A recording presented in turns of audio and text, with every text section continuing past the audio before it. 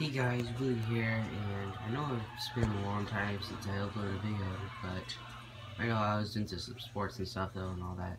But when I was out um out for that time, I played Madden, and this amazing play happened. There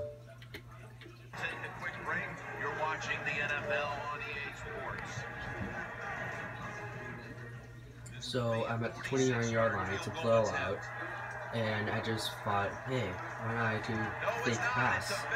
And if you look over there, you look at B, that's Stephen Gostkowski. And I literally did not do anything to him. I just did a fake, and there we go, touchdown. And the funny part is, though, it was against the Panthers. So, yeah, it's kind of crazy. See that again. See that again. Take a quick break. You're watching the NFL on EA Sports. So, big This will be a Field goal pass. field goal attempt. There he is right there.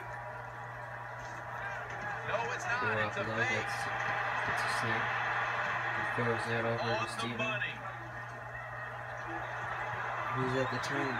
Patriots. Touchdown. First receiving touchdown.